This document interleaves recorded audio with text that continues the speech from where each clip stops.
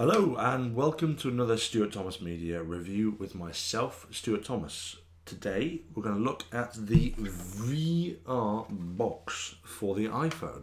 So the VR box is basically a virtual reality headset that you slot your phone in and creates a virtual reality experience. It is a fraction of the cost of something like the Morpheus thing or Oculus Rift or the HTC vibrator or whatever they're called. I don't know what the names are, but it is a fraction of the cost. Rather than spending £300, you can spend £10 on Amazon and get one of these. And do you know what? So far, I'm pretty impressed with it. I'm not quite sure how I'm going to demonstrate this to you because obviously I've got to try and show you what's on the screen and what it looks like on my head. So I'm probably going to have to do this strangely. I don't know. I'll work that out in a minute. Anyway, so it's pretty good. It's got adjustment straps on it, so you can adjust to your sort of head shape, and it slots over your head and plunks over your eyes like this. At the moment, I can't see a goddamn thing, but I will do when I put my phone in here. So, to put your phone in, you open the slot on the side, like this, your little tray. Now, I think if I'm right in saying, that you can put multiple sizes of phone in there because it's got a little spring adjustment, but I'm not 100% certain on what phones it does and doesn't support. I'm using the iPhone 6 Plus for this. So you slot your phone in the little doodah thing like that. It's got a gap on the bottom for headphones and charging port and whatever. You slide it in, and you're good to go. Obviously, you'll need to start whatever application it is that you're using, but that's how it works. So, I'm going to cut now to me using it and hopefully showing you what I'm seeing. Be right back. So, I've figured it out.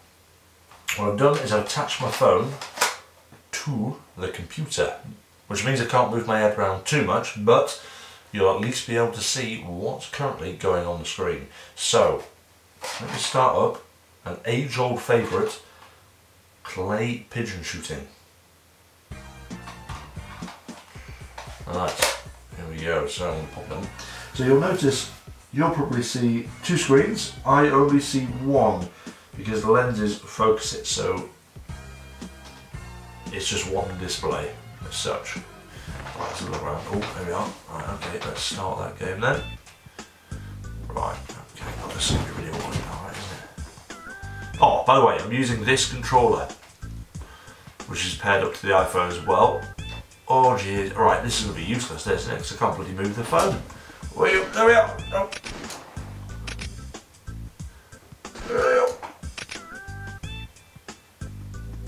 So obviously if you're not tethered to a computer, it's significantly easier to move your head around.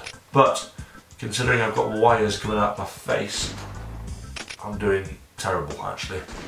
No, I've not managed to hit a single one. Come on, way up. There we go, there we go. There we go, look at that, there we go. Oh, no, no, I've got no shots left, I've got no bullets. Oh, brilliant. Oh, the ominous red Skies of Doom, apparently. Game over. Right.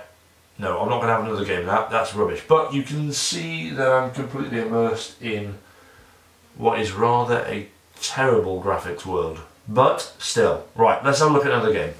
Right, this game is much more immersive. It's a bit more freaky as well. So it sets me inside a space station. Look around, see the people. Hello, people. Look at him doing work. Them two just chatting away. Honestly. Laybacks. Oh, so we hover the uh, plane, that'll do. There we go. Right, okay. So this is a space game called something. I'm not sure. I'll put the link in the uh, comments. Oh, here we are. And it allows you to independently move your head around the spaceship and look around whilst controlling. Oh, I'm being shot already or controlling it with this controller. Are they?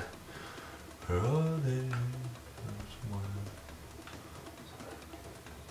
one. There's one. There. Right. There we go. Go on, have it, Charlie. There we are. But you can see it's completely immersive. You know, and for a £10 piece of kit from Amazon, it's not too bad. Oh, and by the way, if you think I sound a bit nasal, that's because this thing is currently squeezing my nose. But it's pretty comfortable. I think if I tighten the headband up, it'd probably sit a little bit further away than my uh, nose, but still, oh Jesus Christ. Sorry anyone out there who, uh, oh God. So, that is what the VR box looks like when it's in use. What do I think of it? Well, honestly, it was 10, 11 pounds. You can't go wrong with it. You know, this was 11 pounds well spent. I've let loads of people have a go and they've all really enjoyed it. And as a first experience of what virtual reality is going to be like in the future, with the things like the HTC vibrator and Oculus Rift or whatever it's called. This is going to be super. I would buy one. I did, but I'm recommending you buy one if you've got an iPhone or another device that supports it. Now, the only thing I would say is that it doesn't have a trigger on the side. Now, I know some of the other versions, like the Google Cardboard, uh, which is just a piece of cardboard, has a trigger on the side that allows you to press it and activate a button on the screen of your phone. Now, what that allows you to do is interact with the game or whatever it is you're playing or using in a different way.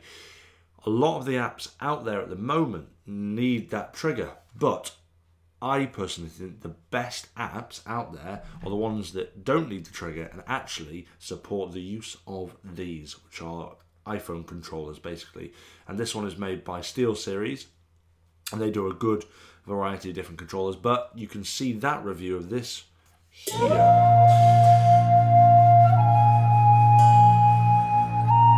But as well as that, if you want to know what games work well with both the VR box and the controller, I've done a top five list of my favourite supported apps, um, which you can see here.